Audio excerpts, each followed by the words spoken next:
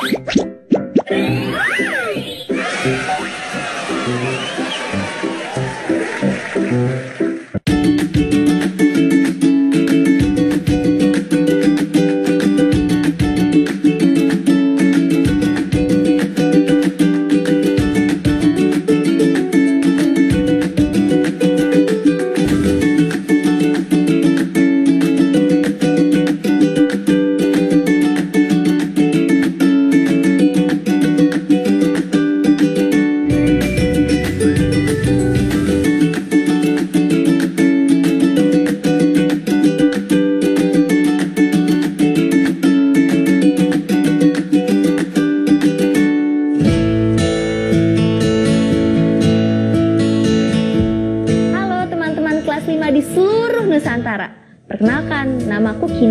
Kalian bisa memanggilku Kak Kinan.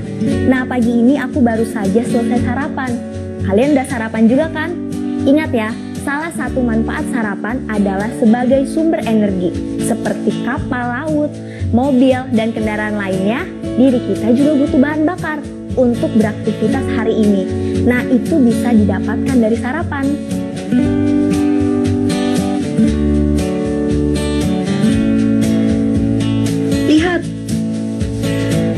Andi sedang menarik sebuah gerobak di jalanan berkerikil dan berbatu. Pernahkah kalian menarik benda di atas jalan berbatu juga? Bagaimana pengalamanmu? Tuliskan ceritamu pada buku latihan ya.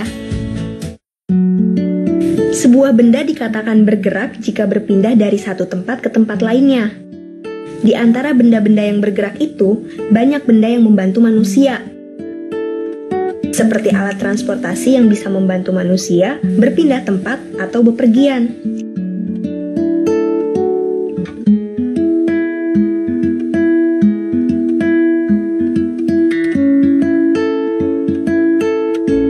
Ada beberapa faktor yang mempengaruhi gerak suatu benda.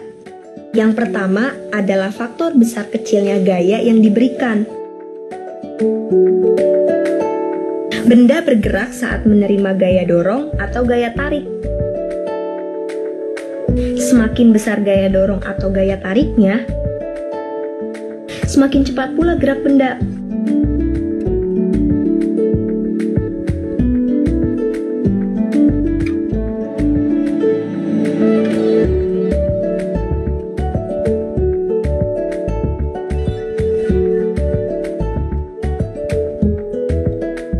Namun, benda juga mendapatkan gaya gesek yang mempengaruhi kecepatan gerak benda. Makin besar gaya gesek, makin berkurang kecepatan gerak benda. Gaya gesek terjadi karena adanya dua benda yang bersentuhan, yaitu benda yang bergerak dan bidang lintasan.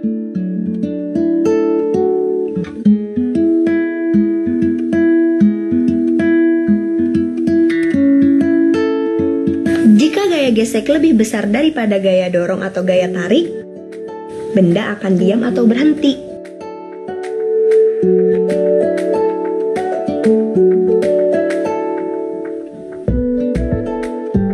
Selain besar kecilnya gaya yang diberikan, gerak benda juga dipengaruhi oleh faktor bentuk benda. Benda bersudut lebih sulit digerakkan daripada benda tanpa sudut. Benda berbentuk lingkaran lebih mudah digerakkan daripada benda berbentuk segitiga atau kotak. Faktor yang mempengaruhi gerak benda selanjutnya adalah faktor ukuran benda, yaitu volume dan berat benda. Ada benda berukuran besar tetapi ringan, dan ada benda berukuran kecil tetapi berat. Benda yang kecil dan ringan, misalnya seperti bola tenis yang terbuat dari karet, akan lebih mudah bergerak secara horizontal dibandingkan dengan benda yang besar dan berat seperti bola tolak peluru yang terbuat dari logam. Meski dilempar dengan tenaga pula gaya geseknya. Akibatnya, benda akan lebih mudah bergerak. Ketiga, jika ada dua motor mogok, yang satu karena kehabisan bensin, yang lainnya karena ban roda bocor. Motor mana yang lebih mudah didorong? Mengapa motor tersebut lebih mudah didorong? Tulis jawabanmu di buku latihan ya.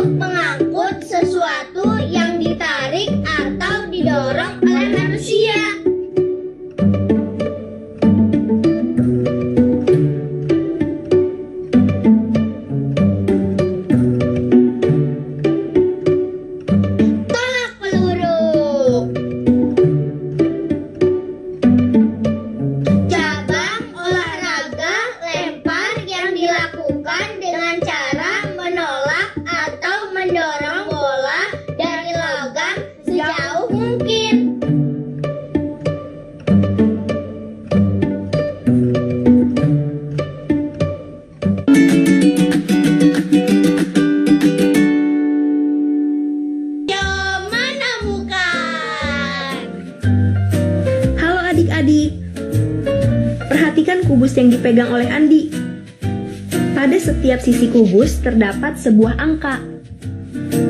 Nah, sekarang terlihat ada angka 1, 2, dan 3. Coba temukan kemungkinan angka-angka yang tidak terlihat pada kubus tersebut. Agar setiap sisi yang berlawanan, jika dijumlahkan memberikan hasil yang sama.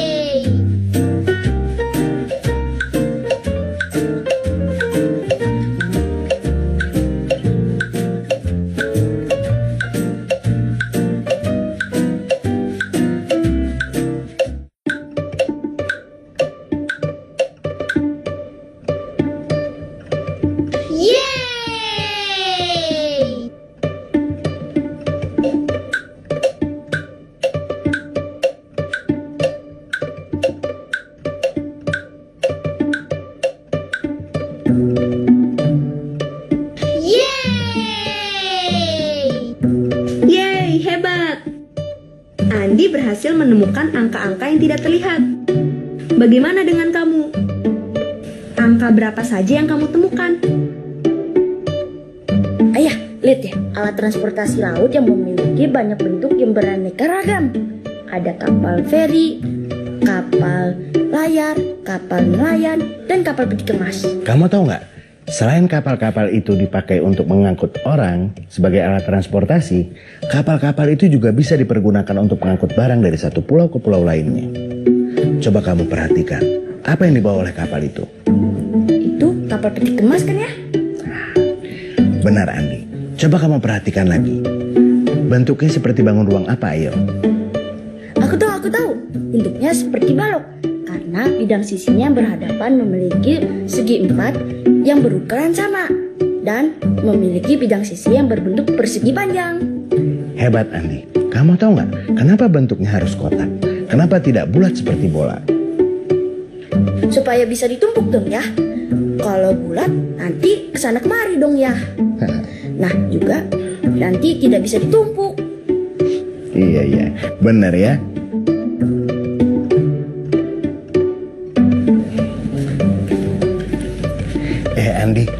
Kue yang kamu bawa itu bentuknya sama ya dengan peti kemas tadi? Beda dong ya. Kalau kotak kue ini kan berbentuk kubus. Karena semua bidang sisinya berbentuk persegi yang berukuran sama. Kalau peti kemas itu kan tidak semuanya berbentuk persegi. ada juga yang berbentuk persegi panjang. Nah, kalau tadi itu berbentuk balok. Pinter nih anak ayah.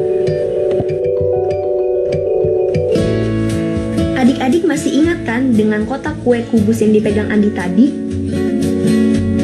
Kira-kira bagaimana ya cara membuat kotak kubus seperti itu?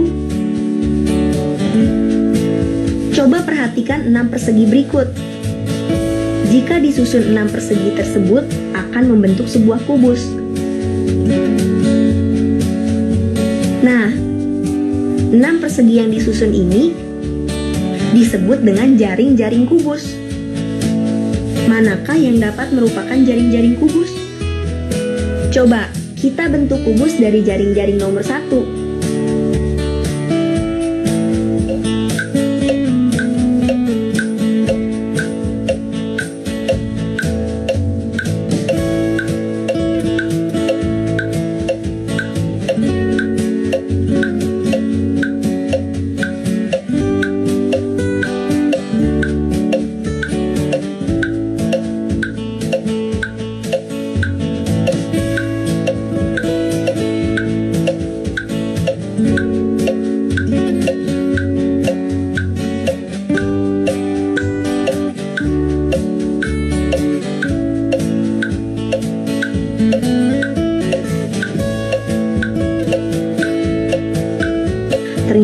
Tidak bisa.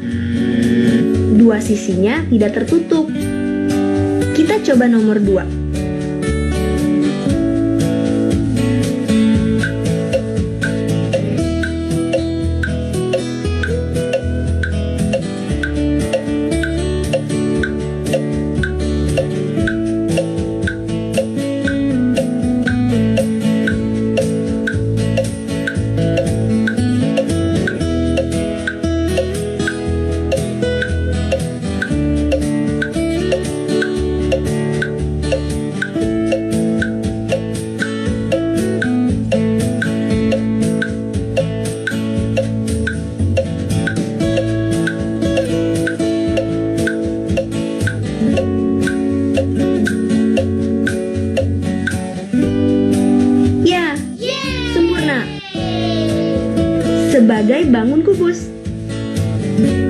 buktikan pada nomor 3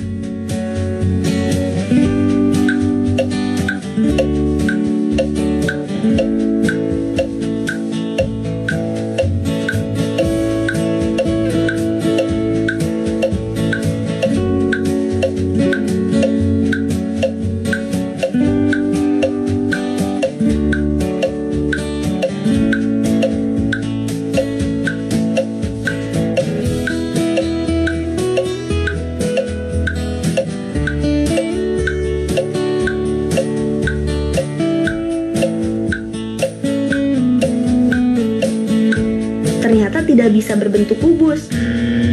Satu sisinya tidak terbentuk. Bagaimana dengan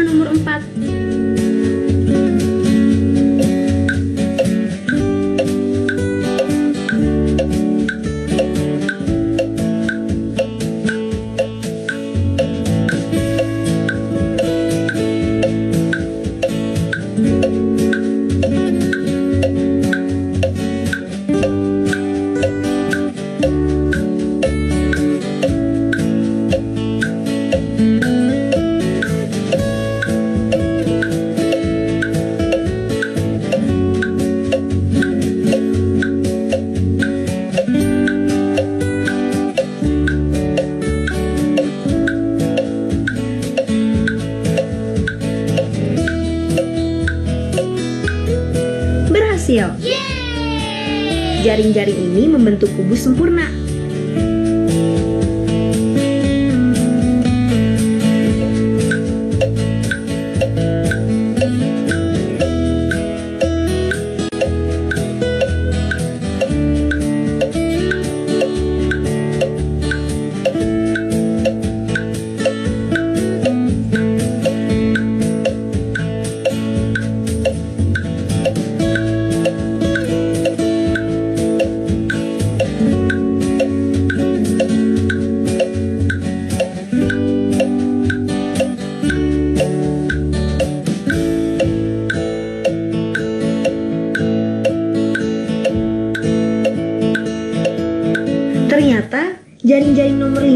Dapat membentuk kubu sempurna.